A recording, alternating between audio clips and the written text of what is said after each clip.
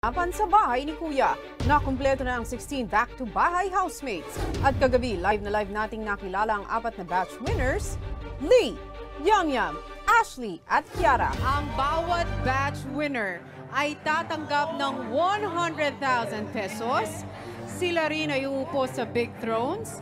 At ang Big Thrones na yan ay ang simbolo na kayo ay makakarating sa Big Night. Isang malaking pasabog din ang ibinigay ni Kuya. Sa edisyong ito, dapat ay walo hanggang dulo. Kaya't hindi lamang Big Four ang makakaabot sa Big Night, kundi Big Ocho Housemates. Heto ang apat pang Big Thrones na uupuan ng apat pang housemates na karapat dapat makarating hanggang dulo.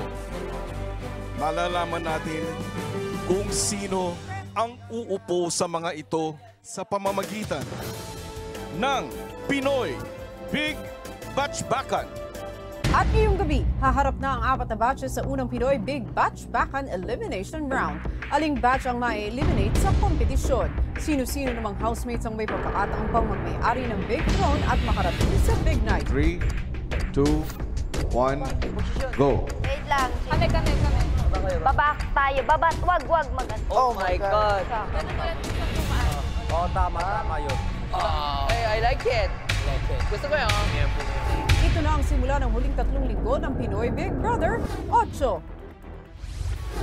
Sa unang gabi na magkakasama ang Big Four ng apat na batches, full bonding ang housemate. Bigo! Bigo tayo! Pinoy,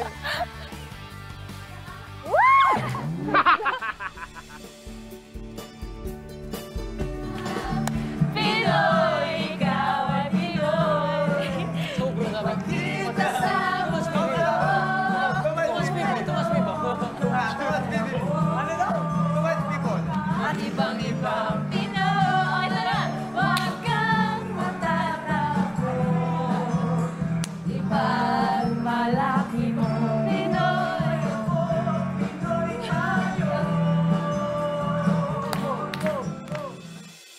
Ibang housemates naghanda na sa pagtulog. Oh, bata. Atilo, atilo. Tulog na bata. Atilo. Why?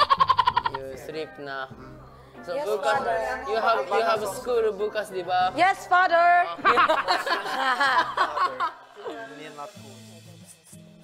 Good night, Diggs. Lai. Good night. Sobrang... Oh.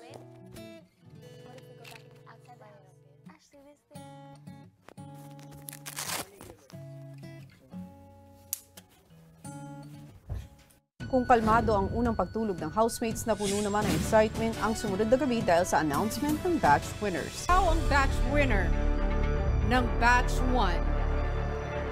Congratulations! Lee!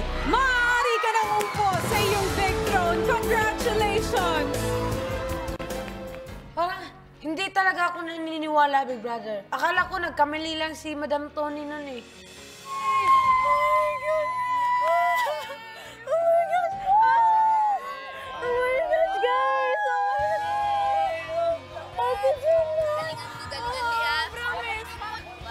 Three, go. Solid 4G! Promise, ililibre ko kayong lahat. Ano? Promise! Oh, promise! Promise! Nag-audition ako para kahit na maging parte lang ako sa bahay niyo po. Tapos ngayon, ako pa yung naging batch leader sa aming batch. Kaya sobrang blessing talaga, Big Brother. Ikaw ang tatanghaling batch winner ng batch 2. Yum Yum! Congratulations! Sa lahat ng dinaanan ko, hindi ako makapaniwala. Sobrang lapit na talaga po, kuya. Pag walang hag, walang libre.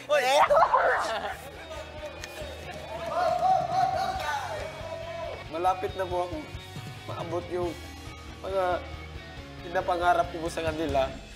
Ikaw ang batch winner ng batch 3, Ashley!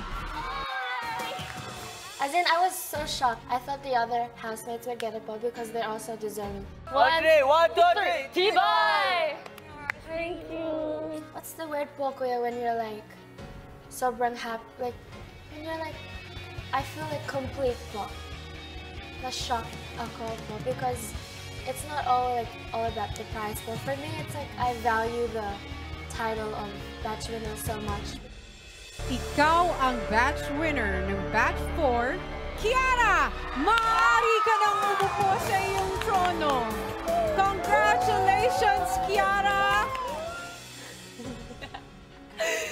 Hindi pa ako makapaniwala, kuya! Ah! I just wanna hug my mom and tell my mom na I won kuya sa batch namin.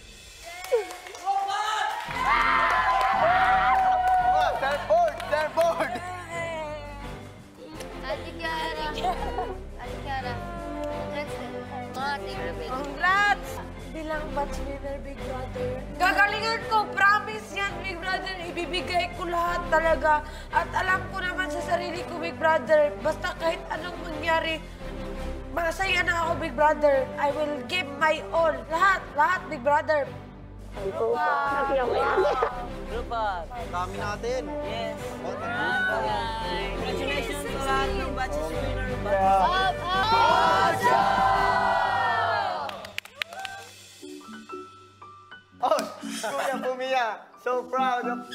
Girlfriend. My gosh. Yeah! Bebe ko? Bebe ko? Eh? Naisip ko po yung pangarap ko, yung family ko, kuya, yung mommy ko. Worth it lahat nung pinagdaanan ko po dito sa bahay ninyo. Diba, sabi ko sa'yo, diba? I don't know how to feel. Bakit? You don't understand how hopeless I was at the start. It's like I was at the start. I was like, stuff this dream. I don't want this dream. Forget about it. I'm already a disappointment. And then, like, I never thought I would be in this position. But now you're in like a good, parang, Path. yeah, good path. Just continue it. Mm, talaga. I really learned along the way. Like, it makes me feel like I feel right now I am deserving to have what I have right now. Ang pinaka-emosyonal sa batch winners ay si Yum Yum. For all my, the, my life has going on, it's very hard. Pero now, it's quick to change when I, I'm ordinary person. I told to my mother, I give you everything you want soon. Pero she, she, she like, I don't believe you. That's impossible. Pero now, it's near. I saw the light for my dreams. When I sitting down in the chair, this is for my family. This this is this is all yours. I, I give it to you before myself. Simple lang ako, nangarap, pinangarapan ko yung pamilya ko. Sabi nila, imposibleng pangarap. Ang dali na pinabago ng Panginoon yung buhay ko. Yeah, I know. I can tell kasi sa labas, I see you with your family. You put family first. No, I'm so... You deserve it. Thank you, Papa. Thank you, Papa. I want to prove them that this is not impossible dream. This is possible dream. Sabi nga, Ayan, we are back!